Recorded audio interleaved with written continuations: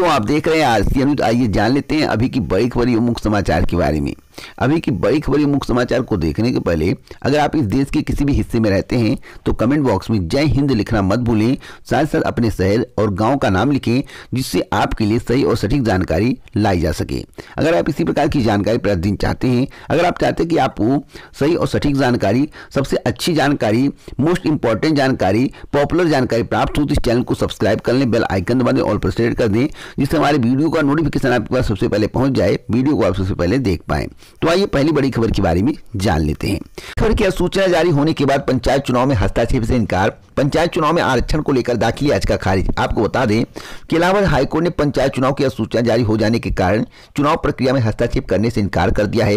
गोरखपुर पूरे ज़िले में अनुसूचित जनजाति का एक भी व्यक्ति न होने के बावजूद ग्राम पंचायत चुनाव में ग्राम प्रधान की सीट अनुसूचित जनजाति के लिए आरक्षित करने के खिलाफ हाईकोर्ट में याचिका दाखिल की गई थी। इस पर कोर्ट ने हस्तक्षेप करने से इनकार कर दिया है। क्योंकि कोर्ट के समक्ष राज्य सरकार की तरफ़ से आपत्ति की गई थी कि पंचायत चुनाव की अधिसूचना राज्य निर्वाचन आयोग ने जारी कर दी है। संविधान के अनुच्छेद दो ओ के अनुसार चुनाव प्रक्रिया शुरू होने के बाद कोर्ट को चुनाव में हस्तक्षेप करने का अधिकार नहीं है। अगली खबर है कि बोर्ड परीक्षा संबंधित गलत जानकारी सोशल मीडिया पर हो रही है प्रसारित। आपको बता दें कि सीबीएसई की अगले माह शुरू होने वाली परीक्षाओं को लेकर सोशल मीडिया पर भ्रामक जानकारी प्रसारित हो रही है।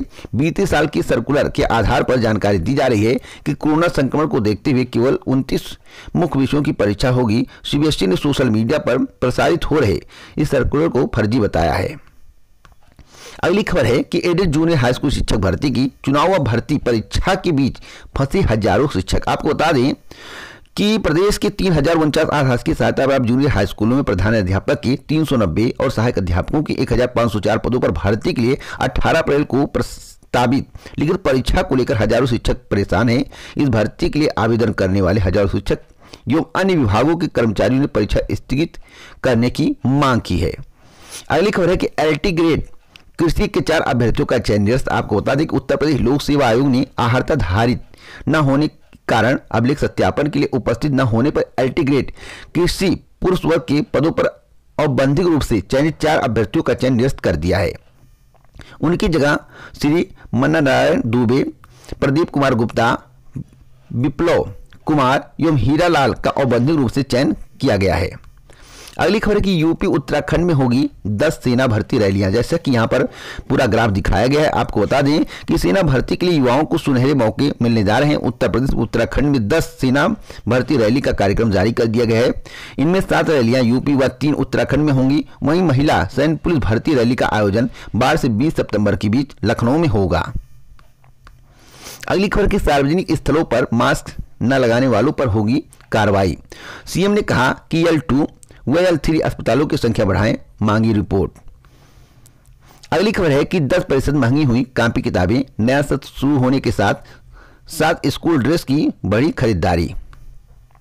अगली खबर है कि कोवैक्सीन टीका, बूस्टर डोज के लिए क्लिनिकल ट्रायल को केंद्र सरकार की मंजूरी मिल गई है। आपको बता दें कि कोरोना से पूरे बचाव के लिए टीके की तीसरी खुराक लेना भी ज़रूरी हो सकता है।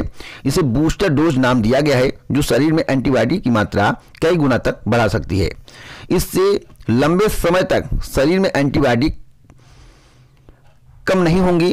केंद्र की विशेषज्ञ समिति ने बूस्टर डोज के क्लिनिक ट्रायल के लिए मंजूरी दे दी है। हैदराबाद स्थित भारत बायोटेक के वैज्ञानिकों ने अध्ययन शुरू कर दिया है। अगली खबर है भाजपा प्रत्याशी की कार में मिली ईवीएम। पीठासीन अधिकारी समेत पाँच निलंबित। असम की रताबाड़ी की घटना है। एक बूथ पर पुनर्मतदान के आदेश। आपको बता दें, यह असम की बात है। असम में विधानसभा चुनाव हो रहे हैं। पूरे भारत में पाँच राज्यों में विधानसभा चुनाव हो रहे हैं। इसी तरह की खबरें देखने को मिल रही जो कि एक प्रकार से निंदनीय है। और यह गाड़ी भाजपा विधायक की है, जो जानकारी प्राप्त हुई है।